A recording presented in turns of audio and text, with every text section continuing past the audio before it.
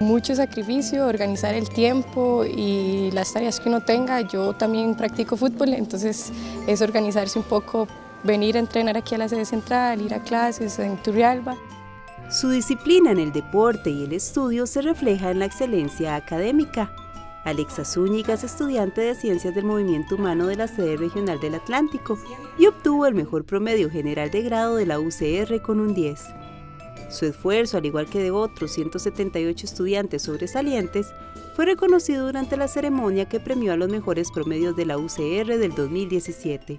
La sociedad costarricense está también atenta a este acto porque eh, em, el mercado laboral desea obtener los mejores profesionales y hoy día eh, un título de la Universidad de Costa Rica sigue siendo válido, sigue teniendo su peso, no solamente aquí en Costa Rica, sino también en el extranjero.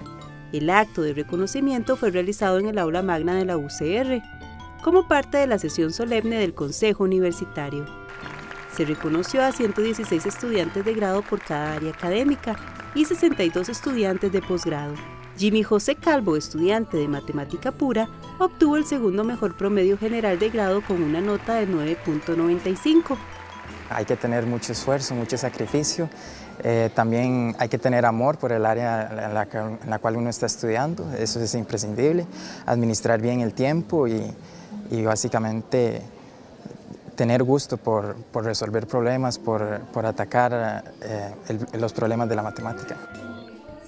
Alexa estudia Ciencias del Movimiento Humano en la sede regional del Atlántico, pero paralelamente estudia Psicología en la sede Rodrigo Facio.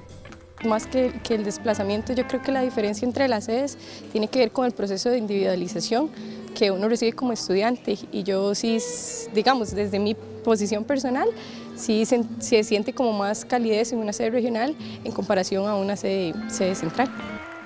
La distinción de mejor promedio se otorga a los estudiantes que hayan aprobado una carga académica de 32 créditos en el grado y 15 créditos en el posgrado durante el año lectivo y cuyo promedio sea igual o superior a 9.